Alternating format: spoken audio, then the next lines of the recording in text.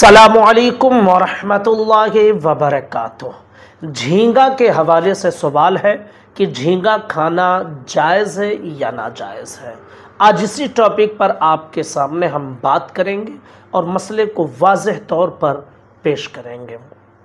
सबसे पहले आप एक कायदा सुन लीजिए कि अहनाफ के नज़दीक, यानी हनफियों के नज़दीक मसला ये है कि दरियाई जानवरों में मछली के अलावा किसी और चीज़ का खाना जायज़ नहीं है।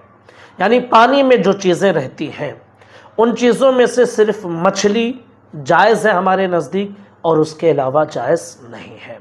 अब रही बात झींगे की तो झींगे के हवाले से इख्तलाफ है। बाज़ हजरात की ये तहकीक है कि झींगा ये मछली की किस्मों में से एक किस्म है।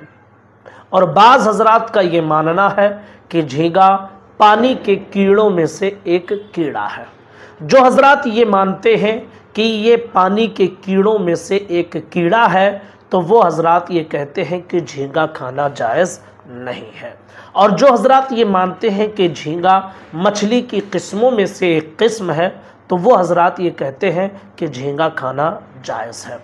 बेहतरीन मसला हमारे नज़दीक ये है कि झींगा खाना मकरूह तंजी ही। है यानी बचना बेहतर है।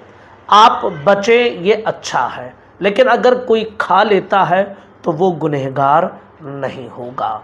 तो इस चीज़ को आप अमल में लाएँ कि जहाँ तक कोशिश हो, बचे झींगा खाने से। इसलिए कि जब किसी मसले के हलाल हराम में इख्तलाफ पैदा हो जाए तो फिर इख्तलाफ से बचने की सूरतें इख्तियार करनी चाहिए। आप अगर झींगा नहीं खाएँगे तो ऐसा नहीं कि आपकी ज़िंदगी ख़त्म हो जाएगी। लेकिन अगर झींगे से बच जाते हैं तो फिर अगर वो चीज़ हराम होगी तो मतलब ये कि आप हराम काम से बच गए हैं। तो बेहतर यही है अच्छा यही है कि झींगा खाने से परहेज़ करें। लेकिन अगर कोई खा लेता है तो वो गुनहगार नहीं होगा। इसलिए कि इख्तलाफ है और इख्तलाफ की वजह से मसले में तखफीफ पैदा हो जाती है, सख्ती नहीं किया जा सकता है। तो गुजारिश है, इस वीडियो को शेयर ज़रूर कीजिए। असलकम वरहमल वर्का